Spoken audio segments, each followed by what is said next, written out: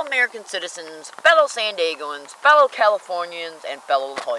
My name is Leslie Williams, and I am in San Diego. Boom! Check it out. This is what is going to be what is known as a comedy video. And comedy videos are, in part, made by me. So, I can act goofy in order to be able to watch the comedy video once it's done. And that way I can have a private laugh. And possibly, hopefully, make you laugh as well. So, what I'm doing right now is I just got to eat my vittles. And, uh, and I just got back home from shopping. And I eat my vittles right after shopping. So I'm still kind of cleaning up the disarray. Boo. As a result of, uh, I'm hiking in California, okay? I'm in San Diego and I'm hiking. I'm saving for a mobile home. And, so, as a result of hiking, my living arrangement is a little bit limited space-wise. I'm still trying to figure out where I'm going to put my dining room table at.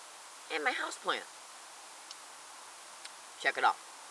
Right now, I directly have a friendship with about 30 birds, three, three squirrels, and a mouse that big. It's literally that big. And since they're visiting me on a regular basis every morning, and since we sing songs together in relation to the birdies, they literally wake me up every morning. The other morning I overslept because I had a migraine the night before. And uh, so I wasn't awake to feed them at the regular scheduled time. And they got so they one of them one of them got so frustrated. You know what he did? He literally landed right outside of the wall of my tent and deliberately and intentionally flapped his wings so the wings would hit my tent to wake me up. That's how hungry he was. This bird is so cool. Anyways, I'm in San Diego, California. My name is Leslie Williams.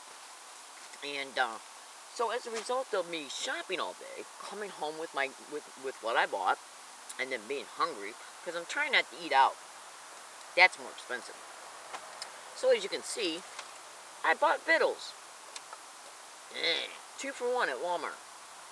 Well, I was gang stalked and harassed on a fever scale. Overtly around me. Eh, concerning me.